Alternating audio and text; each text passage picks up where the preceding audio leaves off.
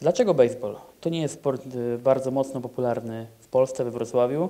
Właśnie w naszym mieście jest dużo innych y, do wyboru dyscyplin. Dlaczego akurat baseball? Y, Może właśnie dlatego, że lubię jakieś takie niestandardowe wybory i też to jest y, pewna rzecz, którą uprawiam od dziecka, także tak jakoś mam taki charakter i takie zainteresowanie, takie podejście w ogóle do, do życia, że jak coś zaczynam, no to y, trwa to już na stałe, tak jakby nie, nie kończę, nie opadam na laurach. No i jakoś dla mnie to było na początku wyzwaniem, którym się mierzyłem y, poprzez różne etapy kariery, od występu we wrocławskich drużynach, poprzez występ y, w Ekstralidze polskiej baseballu, czyli najwyższej klasie rozgrywkowej, aż kończąc tutaj, no cały czas gram, mm, najwyższym moje osiągnięcie to było występ w europejskich pucharach dwa lata temu w Barcelonie i występ w reprezentacji polskiej.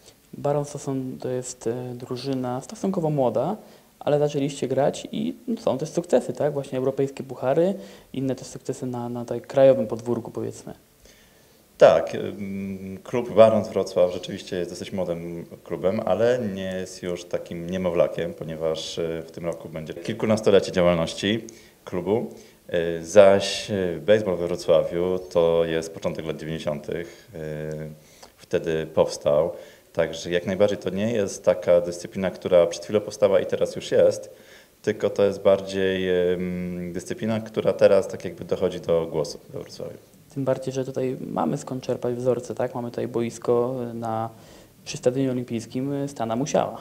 Tak jest. Y, Boisko zostało wybudowane y, w 1991 roku przez Fundację Amerykańską w porozumieniu z y, ambasadą amerykańską. Wtedy to było tak jakby pierwszy tak jakby krok w kierunku zachodu po y, stanie wojennym, prawda? Czyli to było takie bardzo na topie. Od tamtego czasu na Akademii Wychowania Fizycznego funkcjonowała y, drużyna AZS AWF Wrocław, była specjalna katedra y, baseballowo-softballowa. Do tej pory z tego boiska korzystają studenci AWF-u, właśnie trenując baseball softball. Dodajmy, że to boisko no, nie jest w najlepszej kondycji, ale doczekaliście się nowego domu, z którego jeszcze, że tak powiem, nie skorzystaliście, bo czekacie na inaugurację. W drugiej połowie kwietnia będziemy rozgrywali mecz otwarcia i tak jakby to był też pierwsze, y, pierwszy mecz na nowym boisku baseballowym we Wrocławiu. Te boisko to będzie pełnowymiarowe, duże boisko. Te, które znajduje się na Stadionie Olimpijskim, to jest małe boisko, y, małe boisko, na którym można grać y, w baseball w kategorii młodzik oraz y, pełnowymiarowe boisko do softballa. Jeżeli chodzi o, o Zakrzów, no to super udało nam się. Generalnie pierwsze tak jakby duże i dedykowane pod baseball boisko we Wrocławiu.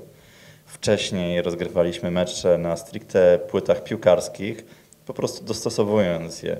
I zarówno nie było to za bardzo wygodne do grania i trenowania, no jak i dla, dla widzów, ponieważ nie mieli miejsca czy tam yy, wygodnego do oglądania takiego meczu.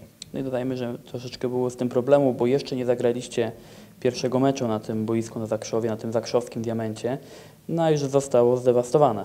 Tak jest. No, na początku mocno trzymaliśmy kciuki, aż to boisko powstanie. Potem y, okazało się, no, że już jest po sezonie, takie jakby. No i czekaliśmy tam na, y, na to, aż tam no, będzie w pełni, y, w pełni ono już tak jakby się ułoży, żeby wejść na nie, żeby tak jakby nie niszczyć świeżo wybudowanego boiska. Y, No, potem nadeszła zima, prawda, okres, w którym tak jakby obiekty sportowe powinny być szczelnie zamknięte, bez dostępu wiadomo, że w zimę się nie gra. A było trochę inaczej. Było trochę inaczej, uczymy się na błędach, będziemy próbowali to poprawić jakoś w kolejnym sezonie. I tak naprawdę no teraz na wiosnę będziemy mogli mm, przy do, dobrej aurze, no bo wiadomo teraz też jest e, zmiana klimatu e, w Polsce, gdzie ta zima trochę się przeciąga na ten marzec, e, nawet kwiecień, czasami pada w kwietniu na święta wielkanocne zamiast na wigilijne, także my to też odczuwamy, ponieważ no, gramy wtedy sezon, zaczynamy, no i czasami no, w rękawiczkach nie wyjdziemy rzucać piłką, że tak powiem, zimowych. Także tutaj też, te, też jest wyzwanie, ale teraz y, kwiecień jak najbardziej to będą tam pierwsze treningi, no i druga połowa kwietnia mecz otwarcia. Współpracujecie z zespołem, który, no, dyscyplina jest trochę podobna, aczkolwiek inna. Chodzi tutaj o hrabiny Wrocław, czyli softball. Współpracujecie? Jasne, jak najbardziej. To jest y, pokrewna dyscyplina y, do baseballa. Bardzo gorąco kibicujemy hrabinom. Trenerem hrabin jest zawodnik Barons Wrocław, Ray Wojtala. Wcześniej trenerami też y, byli nasi inni zawodnicy. Y, Zakładaliśmy też pierwszą drużynę softballa w Wrocławiu ym, y, kilkanaście lat temu, około 10 lat temu. Także mm, przede wszystkim no, to jest y, bardzo ważna e, dyscyplina i też liczymy na jej, na jej rozwój tutaj i trzymamy kciuki za dziewczyną. Jakiś czas temu mieliśmy okazję rozmawiać z Janą Smekal, kapitan hrabin, którą pozdrawiamy. E, I była w szoku, że pierwsze pytanie, pierwsze pytanie to nie było, jaka jest różnica między baseballem a softballem. Tak Więc zadam to pytanie Tobie. Jak to wygląda? Jakie są różnice faktycznie między tym baseballem i softballem, że faktycznie zawodnicy mogą pełnić e, łatwo funkcję trenera i pomagać zawodniczkom? Różnice. Więcej jest podobieństw niż różnic. E, Różnica jest taka, że jest krótszy czas reakcji na odbicie, ponieważ e, narzut jest z bliższej odległości. e, Prędkości są porównywalne, jeżeli chodzi o prędkość narzutu, czyli czas reakcji jest e, mniejszy. E, Wtedy bardziej liczy się tak jakby technika i mm, szybkość reakcji, pamięć mięśniowa ciała w wykonaniu dobrego odbicia.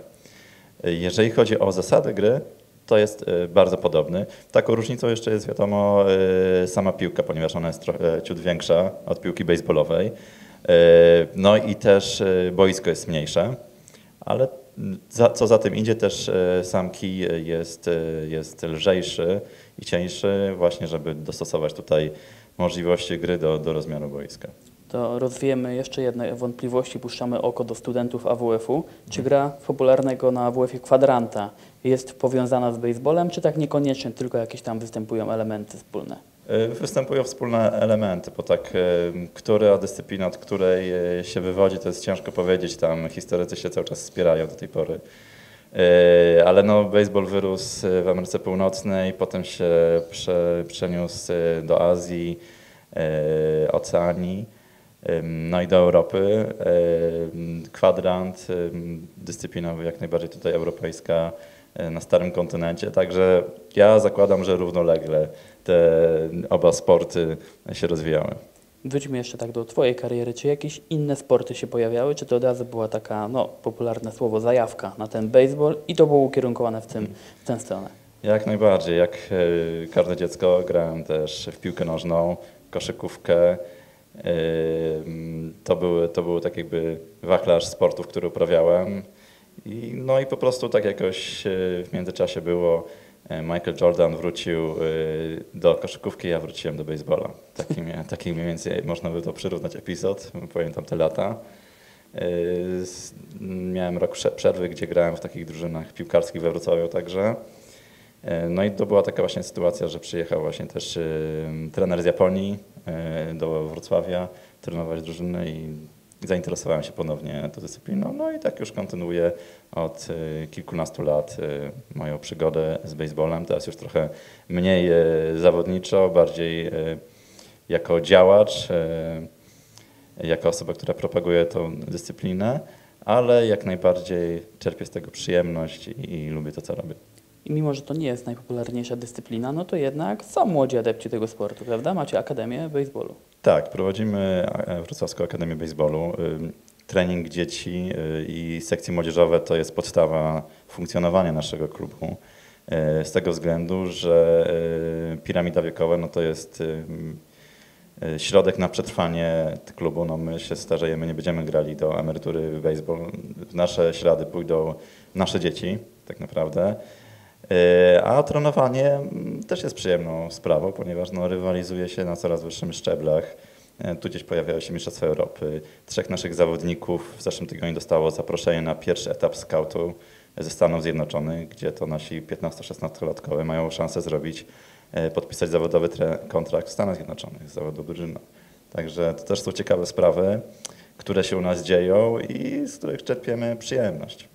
A jaki macie cel taki stricte sportowy na ten najbliższy sezon, startujący w kwietniu? Stricte sportowy, jeżeli chodzi o puchary europejskie, to chcielibyśmy się tam dobrze zaprezentować. No i w miarę mm, utrzymania formy, dobrej predyspozycji awansować do finału y, Pucharu, y, który, na który jedziemy w, w czerwcu. Jeżeli chodzi o Polską Ekstraligę Baseballu, to tutaj y, cele mamy różne, no bo, że tak powiem, y, głównie organizacyjne ze względu na pierwsze mecze we Wrocławiu od y, trzech lat tak naprawdę. Y, I tu idzie w tym momencie najwięcej energii na to, żeby to było jak najfajniejsze widowiska pod każdym względem, ale sportowo no to mierzymy, mierzymy na podium.